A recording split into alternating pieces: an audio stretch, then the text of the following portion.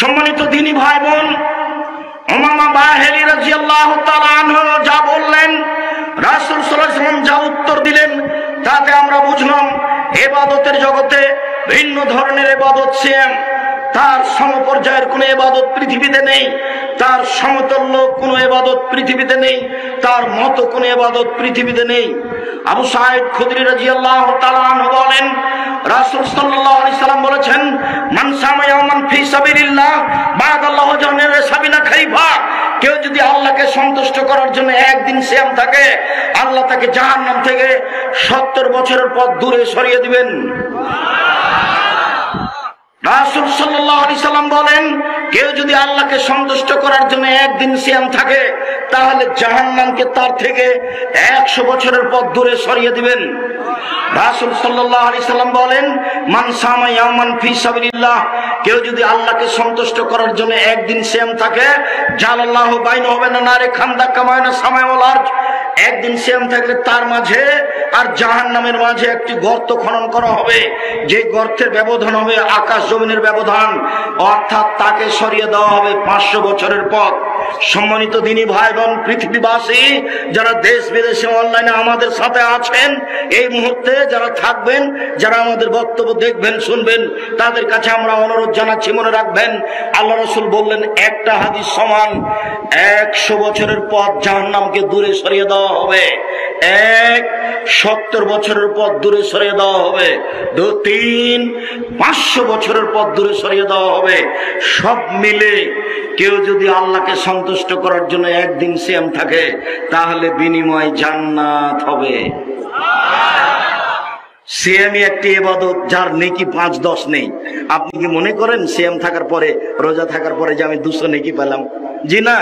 আপনি পাঁচ নেকি পেলেন। জি না সিএমের কোনো এরকম নেকি নাই। পাঁচ দশ নেকি সিএমের নেই, রোজা থাকলে এরকম কোনো নেকি হয় না আল্লাহ নবী বলছেন, শোনো, কেউ যদি জানা যায় যায়, জানা যায়, মাটি দেওয়া পর্যন্ত থাকে, তো দুই কেরাত নেকি হবে দুই কেরাত। এক কেরাত সমান হলো অহুদ পাহাড়ের সমান। আর অহুদ পাহাড় হলো চার কিলোমিটার প্রশস্ত, আট কিলোমিটার লম্বা, নিচে যে কত আছে তা মানুষ জানে না। আমি জানা যাই গেলাম, মাটি দেওয়া পর্যন্ত থাকলাম, তো আমি দুই কেরাত নেকি পেয়ে গেলাম, তাহলে একটা পরিমাণ পেলাম। কিন্তু রোজা থাকলে কি পরিমাণ পাবো? জিনাম রোজা থাকলে এরকম কোনো নেকি নাই। রোজা হলো এই, ও, তুমি সেম থেকেছ, তাহলে আমি তো আর কাউকে বিনিময় দিতে বলব না, আমি বলব যে এই নাও মানে জান্নাত। এই নাও, জান্নাত দিলাম। হাদিসে কুদ্সি, বোখারি, মুসলিমের হাদিস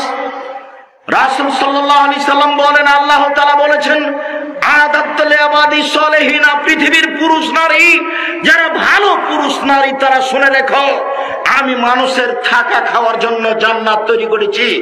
এত উন্নত মানের তৈরি করেছি। এত দামি মহিলা সেখানে রেখেছি। ঝেনুকের মধ্যে লুকানো মুক্তা, ডাগর ডাগর চক্ষু, টানা টানা চক্ষু, খুব লম্বা লম্বা, কালো কুচকুচে কোঁকড়া কোঁকড়া চুল। পনেরো, ষোলো বছরের যুবতী যেমন হয়, এরকম তাদের হিসাব নিকাশ, রূপ চেহারা ভাবা যাবে না। যতবার দেখা যাবে, ততবার তার রূপ পরিবর্তন হয়েছে, চেহারা পরিবর্তন হয়েছে। এরকম মনে হবে, তার শরীরে কোনোদিন ময়লা হবে না, তার কাপড় কোনোদিন পুরাতন হবে না, তার কোনোদিন পেশাব হবে না, তার কোনোদিন পায়খানা হবে না, তার কোনোদিন হায়েজ হবে না, তাকে গোসল করে পবিত্র হতে হবে না। ভিন্ন ধরনের নারী আমি জান্নাতে রেখেছি। পৃথিবীর মানুষ শুনে রেখো, আমি তোমাদের জন্য এত উন্নত মানের থাকা, খাওয়া আর সুখ শান্তির জন্য নারী রেখেছি। যে চোখ কোনোদিন দেখেনি, থাকা, খাওয়ার জায়গায় এত উন্নত মানের হতে পারে। আমার স্বামী এত জনন কান কোনোদিন শুনেনি। চক্ষু দেখেছে আগ্রার তাজমহল, চক্ষু দেখেছে আপনার কলিকাতার হাওড়ার ব্রিজ, চক্ষু দেখেছে ইরাকের ব্যাবিলনের ঘণ্টা চক্ষু দেখছে ফ্যাস মেশিন, মোবাইল, অনেক কিছু দেখছে। এরপরেও জান্নাত এর চেয়ে ভিন্ন, যেটা চোখ কোনোদিন দেখেনি। কান শুনেছে দত্তরাজের কাহিনী, সাত সমুদ্র তেরো নদী পারে আছে। এরপরেও জান্নাত এমন কিছু, যেটা মানুষের কান কোনোদিন শোনেনি। অমা খাতার বেকালবে বাসার, মানুষের অন্তর কোনোদিন ভাবতে পারেনি, জান্নাত থাকা খাওয়ার জায়গা। এত উন্নত মানের হতে পারে। মানুষ যদি রোজা থাকে, আমি আল্লাহ তাকে দিয়ে দিব। মানুষ যদি সিএম থাকে, আমি তাকে এইটা দিব, আমি পাঁচ দশ নেকি দিব না। ফেরেস্তাকে লিখতেও বলব না। এই ফেরেস্তা সিএম থেকে যে দুশো নেকি লিখে দাও। এক কেরাত নেকি লিখে দাও, এটা আমি কাউকে বলব না। আমি কোনো পাঁচ দশ নেকি দিব না। আমি বলব, এই নাও।